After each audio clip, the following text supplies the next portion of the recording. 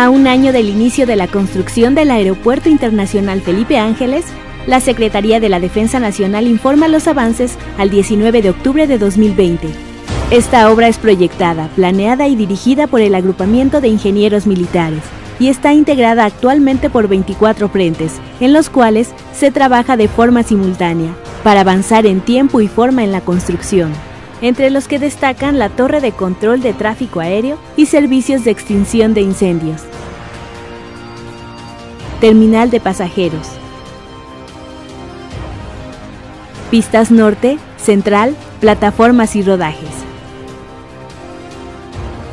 Interconexión vial tramo carretero Santa Lucía. La obra lleva un avance general del 40.01%. A la fecha, en este macroproyecto, se han construido más de 2 millones y medio de metros cuadrados, se han trasladado más de 3 millones de metros cúbicos de materiales pétreos y empleado más de 120.560 toneladas de acero, así como más de 1.100 unidades de maquinaria pesada y 1.200 vehículos. En este año, la instalación aeroportuaria ha generado 46.227 empleos civiles, en los que se destaca la contratación de ingenieros, arquitectos, topógrafos, contadores, abogados, operadores de maquinaria, albañiles, carpinteros, plomeros, herreros, hombres y mujeres que trabajan incansablemente, siendo este proyecto un detonador del desarrollo de México. A todos los mexicanos, Tengan la certeza de que este proyecto de gran infraestructura nacional se concluirá conforme a lo programado. Faltan 518 días de construcción. Gobierno de México.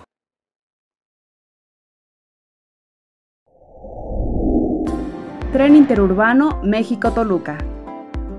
Tramo 1, 36 kilómetros. Avance a la fecha, 98.5%.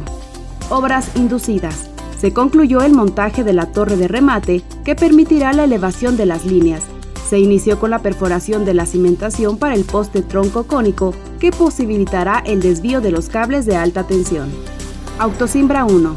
Se realizó el vaciado de concreto de la primera fase de tramo 31-32 de 55 metros, último claro de este viaducto.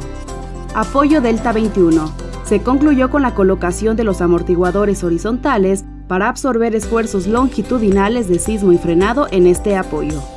Terracerías 3. Se llevó a cabo el colado de la losa central entre muros prefabricados en el kilómetro 33. Tramo 2, 4.7 kilómetros. Avance a la fecha 100%. Bitúnel. Para realizar los trabajos de excavación se utilizaron dos tuneladoras tipo TDM que trabajan con una rueda de corte y a su vez extraen el material por medio de un tornillo sin fin y bandas transportadoras. Vía catenaria y obra electromecánica, 57.8 kilómetros. Se realizan trabajos de colocación de accesorios en ménsulas y tendido de cable para catenaria. Se terminó el montaje del primer tanque de almacenamiento de agua para el sistema contra incendio del bitúnel. Tramo 3, 17 kilómetros, Avance a la fecha 52%. Frente 17. Glorieta Vasco de Quiroga. Se realizó el montaje de tres traves de concreto prefabricadas en este frente. Secretaría de Comunicaciones y Transportes. Gobierno de México.